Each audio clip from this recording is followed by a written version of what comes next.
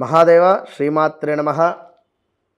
Today tomorrow ప్రేక్షకులకు రెండు వేల ఇరవై నాలుగుకు సంబంధించి ద్వాదశ రాశుల యొక్క ఫలితాలు మీకు చెప్పడం జరుగుతూ ఉన్నది.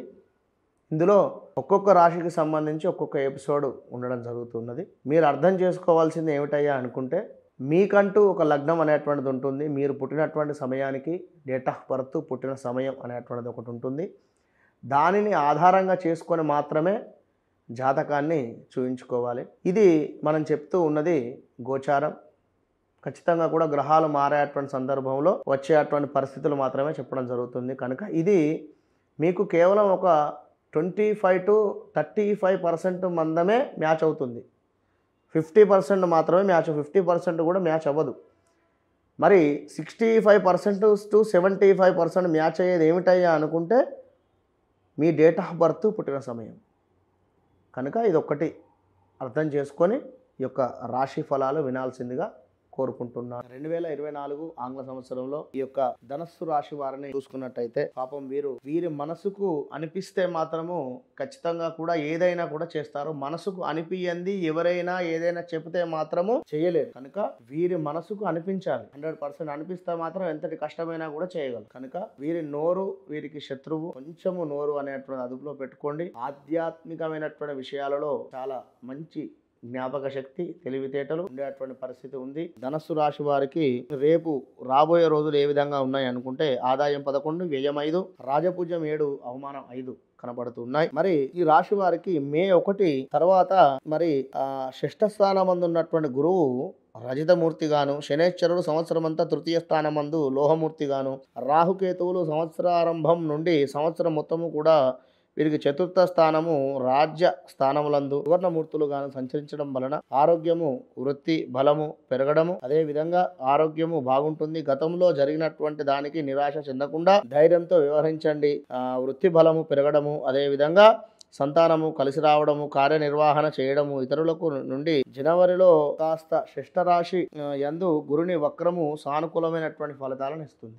కనుక మీరు కొంచెము ఆచితూచి వ్యవహరించండి. మీకు కూడా గురువు మారేటువంటి సందర్భంలో గురువు ఇప్పుడు ఏదైతే రెండు వేల పదహారు పదిహేడు పద్దెనిమిది పంతొమ్మిది ఇరవై ఇరవై ఒకటి ఇరవై రెండు ఇరవై మూడు కూడా బాగాలేదు. ఏడు ఏడేళ్ళ ఏడేళ్ళ అర్థం శని కూడా కంప్లీట్ అయినప్పటికీ కూడా శని వక్రం వలన ఈ యొక్క ధనుసు రాశి వారికి చాలా అంటే చాలా ఇబ్బందులు గోచరిస్తుంది. వివాహం సెటిల్మెంట్ కాని వారికి ఇప్పుడు వివాహం సెటిల్మెంట్ అవుతుంది ఖచ్చితంగా కూడా. ఇట్లా మరి యొక్క గురువు కూడా ఏం చేస్తున్నాడు అంటే వీరికి ఎప్పుడు అంటే మే తర్వాత ఆరో స్థానానికి వెళ్తున్నాడు. ఆరో స్థానం ఏమిటి? గురువు వెళితే మనకు షష్టమ స్థానం అవుతుంది గురువు ఆరులో ఉంటే కాస్త హెల్త్ రిలేటెడ్ కానీ కొన్ని కొన్ని ఇబ్బందులు కానీ ఎదుర్కొనేటువంటి పరిస్థితి ఉంటుంది. కనుక బీ కేర్ఫుల్ ధనస్సు రాశి వారు ఇంకా ఎట్లా ఉందో చూద్దాం.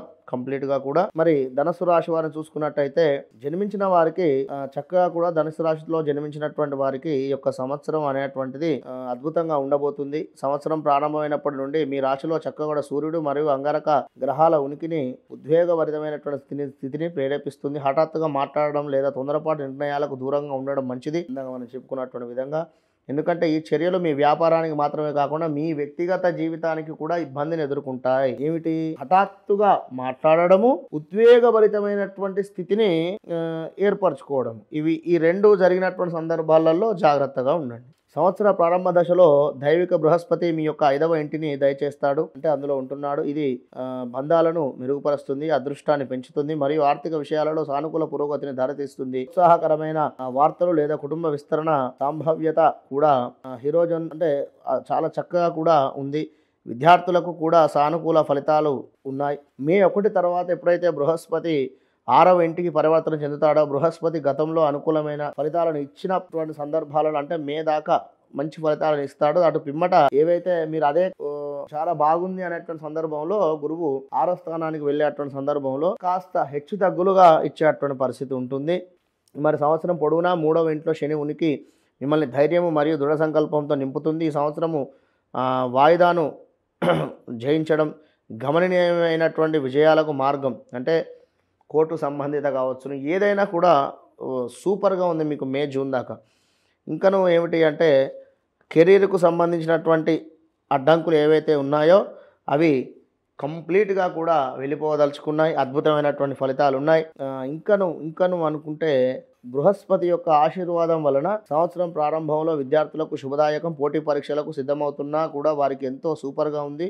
అద్భుతంగా ఉంది. చివరి భాగం కూడా సంతృప్తిని కలిగిస్తుంది. మూడవ ఇంటిలో శనికి ఉన్నందున నాలుగవ ఇంట్లో రాహు ప్రభావం కారణంగా కాస్త కుటుంబ గతిశీలత సంవత్సరం ప్రారంభం నుండి ఒడిదుడుకు ఒడిదుడుకులను ఎదుర్కొనేటువంటి పరిస్థితి ఉంది. ఇది నాలుగవ ఇంట్లో రాహు ఉంటే ఏం జరుగుతుంది? అంటే కాస్త ఇంట్లో వాతావరణం నెగిటివ్గా ఉండడం కానీ కాస్త హెల్త్ రిలేటెడ్ ప్రాబ్లమ్స్ ఇంట్లో ఉండేటువంటి వారికి. కనుక ఈ యొక్క నాలుగవ ఇంట్లో రాహువు మరియు పదవ ఇంట్లో కేతు ఉండడం వల్ల సంవత్సరం పొడవునా కూడా ఆరోగ్యం మితంగా ఉండేటువంటి పరిస్థితి. జాగ్రత్త. మొత్తం మీద ధనస్సు రాశి వారికి వాస్తవానికి కూడా పట్టిందల్లా బంగారం అనే చెప్పుకోవచ్చును. గురువు మనకు మేలో మారిన తర్వాతనే మీకు ఇబ్బందులు ఉన్నాయి కనుక అప్పటిదాకా అద్భుతం సూపర్ ధనుసు రాశి వారికి అన్నింటా బాగున్నాయి. మీరు ఇప్పుడు ఏం చేయాలి అంటే దీనిని కాపాడుకోవాలి.